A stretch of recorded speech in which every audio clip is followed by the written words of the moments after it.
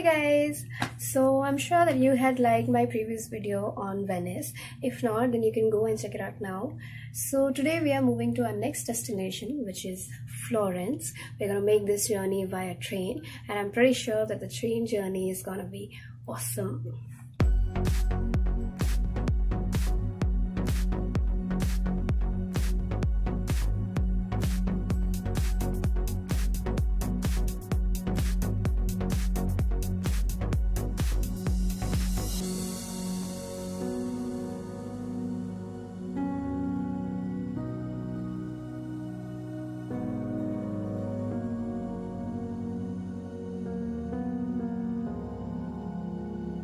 Florence is a city in central Italy and the capital city of the Tuscany region. The distance from Venice to Florence is around 250 kilometers and it takes around 2 hours to travel via train.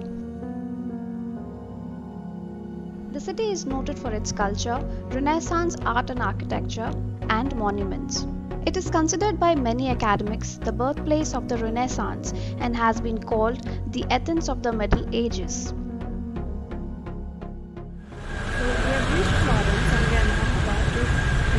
Hotel.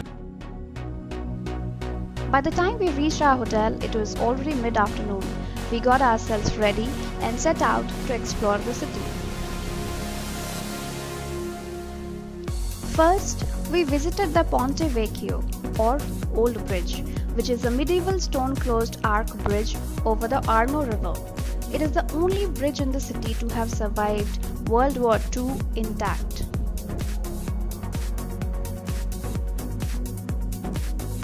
The Uffizi Gallery is one of the most important Italian museums and also one of the largest and best known in the world and holds a collection of priceless works, particularly from the period of the Italian Renaissance. At the heart of the city, in Piazza del Signoria or Signoria Square, and in front of the Palazzo Vecchio, is a fountain of Neptune, which is a masterpiece of marble structure and bronze. Outside the Palazzo Vecchio stands a copy of the Michelangelo's David statue flanked by Baccio Bandinelli's Hercules and Cacus. David is a masterpiece of Renaissance sculpture created in marble between 1501 and 1504. It overlooks the gallery of statues and sculptures in the adjacent Loggia dei Lanzi.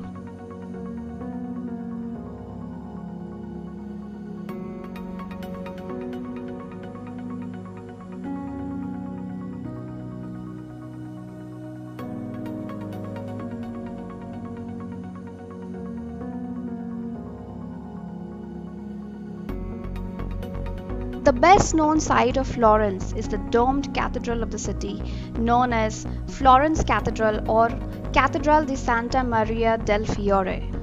It was begun in 1296 in the Gothic style and was structurally completed by 1436. The nearby Campanile and the baptistry buildings are also highlights. The dome, 600 years after its completion, is still the largest dome built in brick and mortar in the world. In 1982, the historic center of Florence was declared a World Heritage Site by the UNESCO.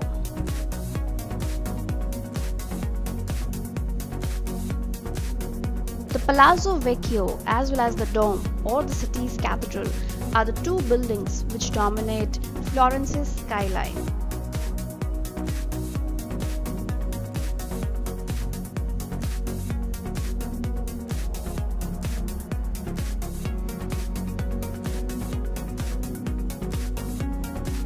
By late evening, it had started raining, so we roamed around the city a bit and then retired to our hotel room. Next day, we had a scheduled guided tour to the outskirts of Florence, the Tuscan vineyards, and the city of Pisa. So stay tuned for my next video. Bye!